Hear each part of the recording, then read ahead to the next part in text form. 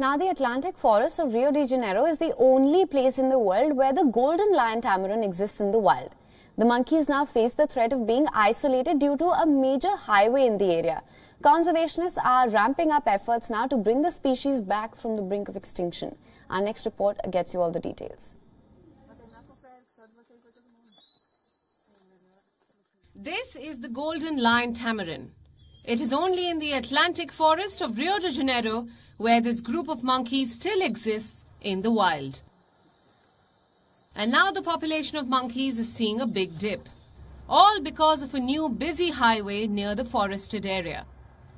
Today, we can say that we have something like 2,500 animals in the wild.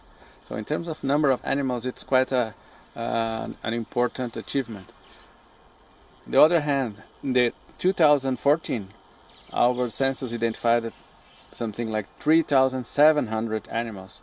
That means from 2017 until today, after the arrival of the yellow fever, we had for the first time a decreasing of the population, and this called us the attention very much.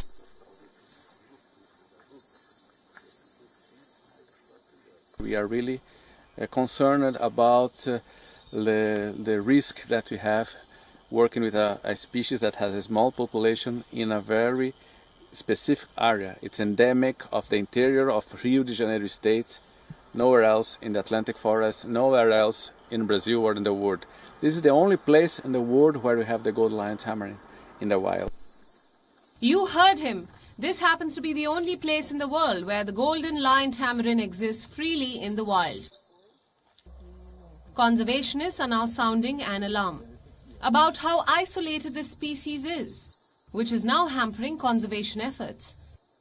Efforts are now on to create a landscape for conservation, all in a bid to protect them.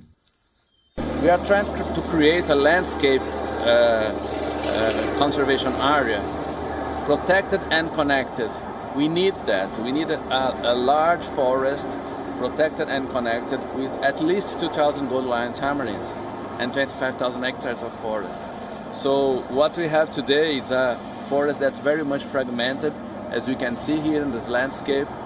Too many pastures, we have uh, roads, small cities, and other infrastructures that uh, uh, do not help to create this connectivity.